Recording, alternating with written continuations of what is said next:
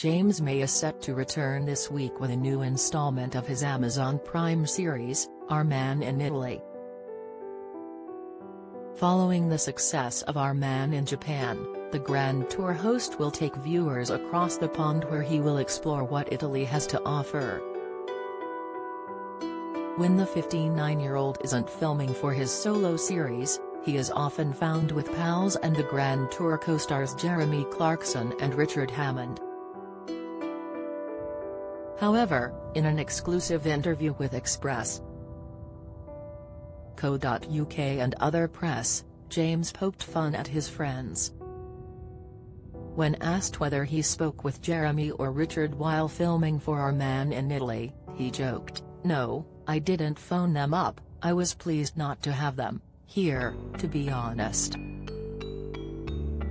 When I am making a TV show by myself, I can just keep going, it's great until the crew tell me to shut up. Last year, the Presenters series was thrown into doubt because of the coronavirus pandemic. James and the crew were meant to be filming the series in America, but due to various obstacles, they were unable to. We were supposed to be filming in the USA and I actually announced it on Twitter and various other places, he recalled.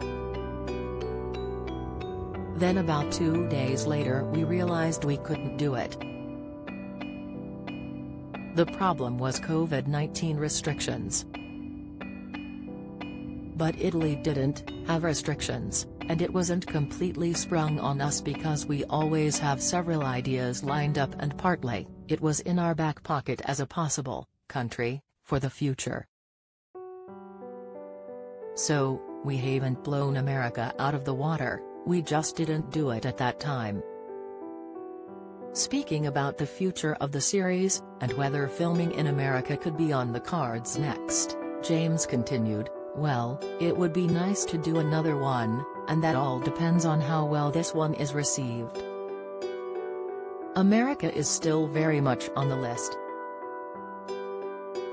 So, we have a lot of ideas for America already sorted out.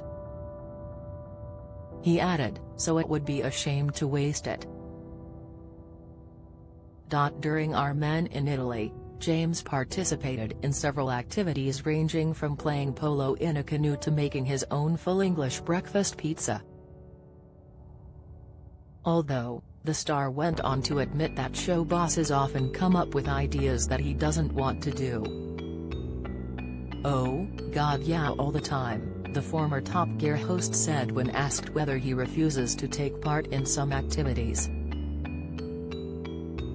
When we're filming, I always say, I'd like to do this, this and this and they rather begrudgingly allow me to do those things but then the crew and producers come up with some surprises, it just makes better telly if I don't know what is coming up. If I was left to my own devices I would do craft, art, I'd look at some famous buildings and I would explore some spas.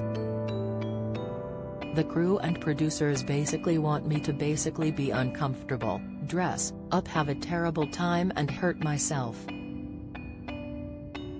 James went on to recall an embarrassing part of the series, which involved him dressing up. The most embarrassing thing would be the canoe polo because I don't fit in the canoe, he said.